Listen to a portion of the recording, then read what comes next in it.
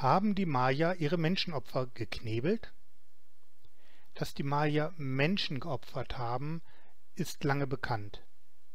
Die Opferungen konnten auf Pyramiden erfolgen oder aber in Höhlen. Jetzt haben Wissenschaftler herausgefunden, dass die Opfer möglicherweise über einen längeren Zeitraum geknebelt waren. Herausgefunden haben dies Amy M. Chan, James E. Brady und Linda Scott Cummings.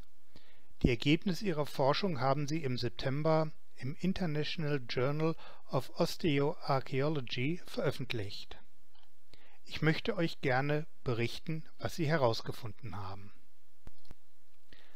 2006 hat man in Belize eine Höhle entdeckt. In dieser lagen die Knochen von über 100 Menschen. Schnell zeigte sich, das waren Menschenopfer. Auch wenn dieser Fund schon viele Jahre zurückliegt, nun haben die genannten Forscher etwas Neues herausgefunden. Sie haben die Zähne dieser Unglücklichen untersucht.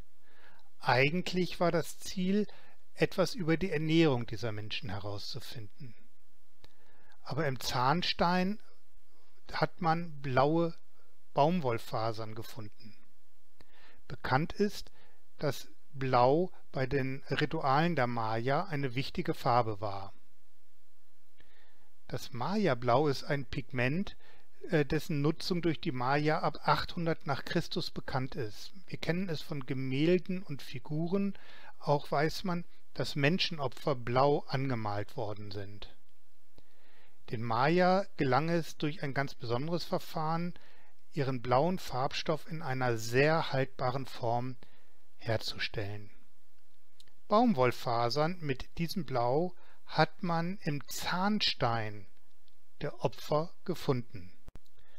Dass Fasern aus einem Knebel in den Zahnstein von Menschen eindringen, kann ich mir eigentlich nur durch einen Sachverhalt erklären. Die Menschen müssen über einen längeren Zeitraum geknebelt gewesen sein. Meine persönliche Meinung dazu ist, die Opfer mussten für eine längere Zeit vor ihrer Tötung schweigen. Ginge es nur darum, die Schreie zu unterdrücken vor und während der Opferung, dann hätte eine Knebelung eben auch in dieser kurzen Zeit gereicht, aber das hätte nicht ausgereicht, damit Fasern aus dem Knebel in den Zahnstein einwachsen.